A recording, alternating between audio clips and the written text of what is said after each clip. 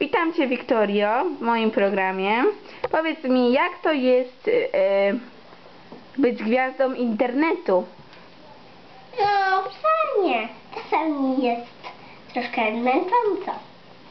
Mm, a masz jakichś fanów? No, troszkę. Mhm. Twoją ciocią jest Nawrotka, tak? Tak. I co ona robi? Ciocią nawrotka? No, Justyna, nie? Tak. Jest bardzo super. Chociaż czasami tak się perfumuje, no i wychodzi na dwór. Strasznie śmierdzi za nią, jak idzie na drogę. No i samochód. Jak jeździ, to ładem by takie. No i Dobrze, dobrze.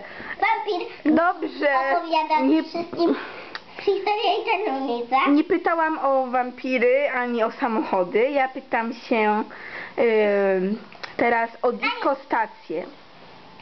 Y, powiedz mi, jak, co masz wspólnego z diskostacją? No wiecie, ja oglądałam je, ja oglądam ją w telewizji. Mhm. A z radiem internetowym diskostacja masz coś wspólnego? Mam. A co w nim robisz? Um, Jaką funkcję pełnisz? Bardzo dużo. Bardzo dużą, dobrze. Mam szminkę na ustach, jak co. Opowiedzmy.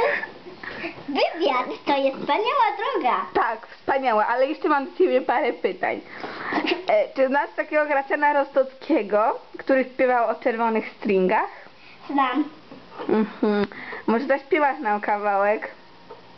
A, historyjki to historyjki. Rozumiem. E, mam do Ciebie jeszcze jedno pytanie. Lubisz disco polo? Lubię. Bardzo fajnie grają.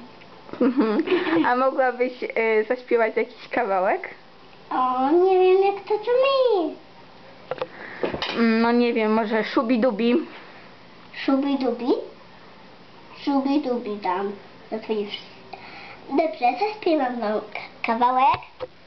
Szubi-dubi dam. Za twój ósmy wszystko dam. Szubi-dubi dam. Za twój ósmy wszystko dam. Przepraszam, ale jestem zaśmiewana. Szubi-dubi dam. Za twój ósmy wszystko dam. Szubi-dubi dam. Za twój ósmy wszystko dam. Hej. Szubi-dubi dam. Za twój ósmy wszystko dam. Wystarczy. Y, powiedz nam, mm, może chcesz kogoś pozdrowić? Joasię Macika i moją całą szkołę starą. Mhm. A kogoś z rodziny? Mamę, no i tatę. Tylko mamę i tatę? Tak. Dobrze.